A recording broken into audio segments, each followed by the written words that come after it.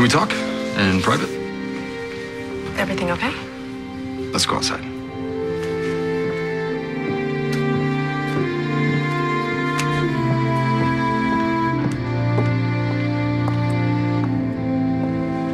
Nicole, I want to say that I've enjoyed the time we've spent together.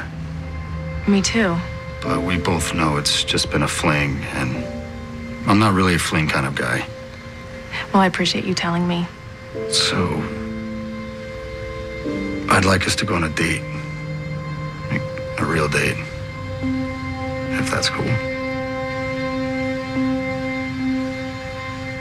Okay. but I gotta warn you, I don't sleep with guys on the first date.